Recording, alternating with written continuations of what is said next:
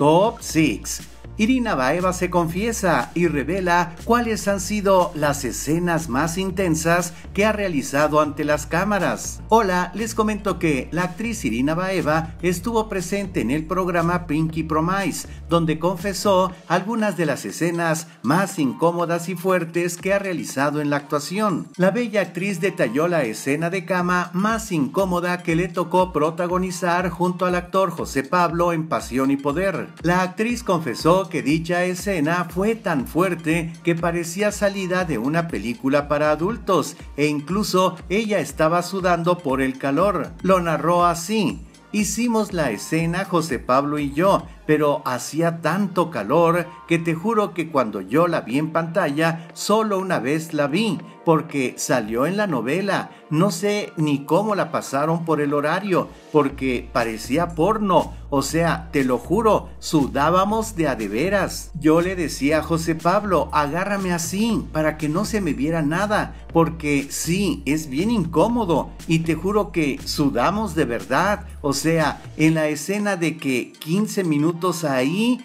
así de y haz la pasión. Ay, no, no, no, es horrible, contó la prometida de Gabriel Soto. La bella joven también recordó uno de los momentos más intensos que vivió fuera de los sets de grabación, tal como la tremenda cachetada que le propinó la actriz mexicana Daniela Castro, quien fue su mamá en la telenovela Me declaro culpable del 2017. Irina Baeva contó que en plena presentación de la telenovela en vivo en Facebook, Daniela Castro le propinó una fuerte cachetada. Estas fueron sus palabras. Me la dio en la presentación de la novela, que estaba como en vivo en Facebook.